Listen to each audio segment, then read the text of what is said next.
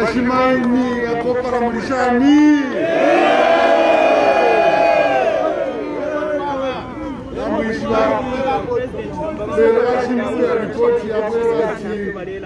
vamukukuri va vaxitixe migodi va yile kuri vavedanta nokoye vati kalamule tupela ka 100000 us dollars ka chepa vikeni koye 300000 dollars vakoye vatupite kati vakuta ka vapanga uteko kana mwese chenu ngoni sana sana KCM Abash Mkona nipo Tishu mendera nipo Mkona nipo Mkona nipo Mkona nipo Mkona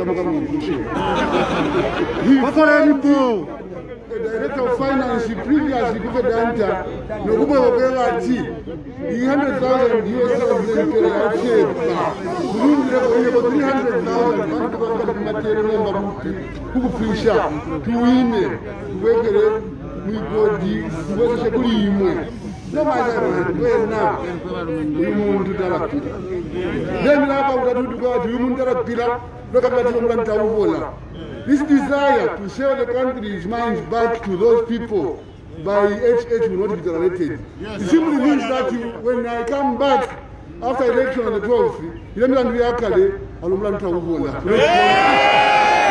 bandit is showing clearly there that uyu muntu are determined to sell this country oshakale tinalomba 300000 kwacho vakapishitishe kwesheni kotifedanta neso ndavakwati ndiwe 300000 really amba ndendayakauta tuti kwevati nhari kwetu kwevati let's forget about the past wrongs but ifindeumfwa ndevakwenalantauvona ino privatization vachirenga vatusiyenye kulingana nefunde vatinokukakwa after 2021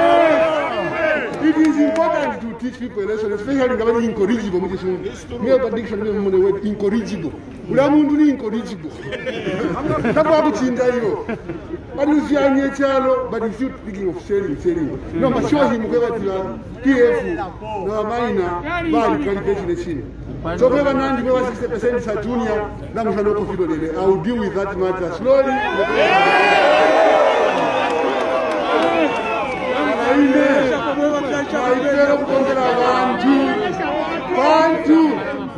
kunda ukwevati ukankara kwava muchado kuchindika vantu vantu vavanza vakwatamarana visioni people know vatiro chero kufinal vofa kuusenderera navasendo vechiushikwatano muzambia nevashimaini navashana ndatakati vashimaini vane chichutikanisa parishovachitaiwo so inendendaipakutatutikwevati shavo rerenuma I'm not intimidated by the Western countries who are trying to intimidate me. Yeah. And affect our elections.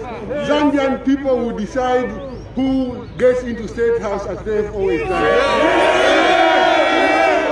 I want to take advantage of this occasion to say all those monitors are here to monitor, not to interfere. Yes. I made it very clear when I was in Kafue that you're welcome maisha nimkwaitambeni kofe kampeni electoral process shose chira chavena zambia vareke naveni vaisalile sozi varaisalira vane intungushire fire pa12 august nokutwalire objeto ine panoandi ndeviraya umunduma uine arishomuusori anotaura mumpuru munhu ndiwamauine anoti that swap is fake that swap is fake afuma pala vachimoshe vanhu that no i will improve on that swap i will increase money and give you much more improve the condition of selling mama na nono umu ndiwamauine afuma pala vende social cash transfer iyo taya devomba oh social cash transfer ngesa ndapo kana isi umu ndiwamauine afuma pala vende fisip ngana isi angano ndapo fisip but let's pasha instead of that bombe economy say improve pirure mo ndakame shingi mufisiri musese kwachitransfer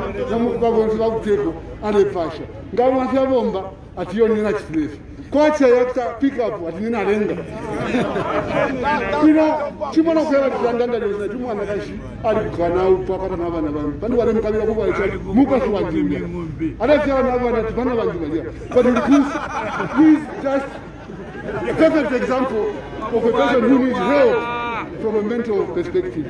I'm saying that the other which are coming from the opposition leader reflected the range mind, a person who needs help from a mental clinic. Because you cannot say, if you talk about that you want this, tikavomba senganaisa tichavomba sati rine nzvike rine nanzvika kuna muchere nenuiosaingava president it will just take four hours from 10 hours by 14 hours kwatakapikini now he's saying no no no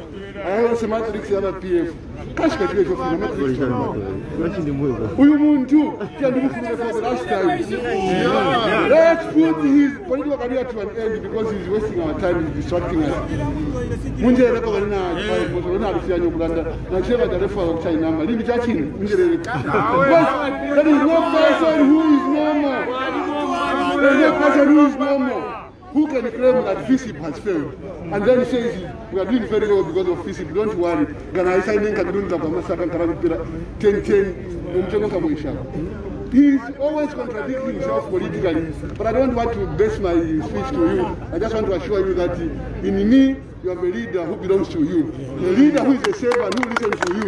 A leader who's vision and don't Because you have a for you amano afuma kuyimwa ayishakumise ekuteko eh, noma ngokuthi amano pala sithu kwashangolenda ubuye ke abathi ngabafana but because you think na ufana yeah yeah you know the story of the king who had a new suit which he believed in kakawandeka ishavuka sivela fini vanaleta afana suit yanyu kanyina avakoninga avagonga He yeah. So it's one of idea. So let us believe in our people. Let us believe in God Almighty. Because through people and God Almighty, we can do wonders. God bless you.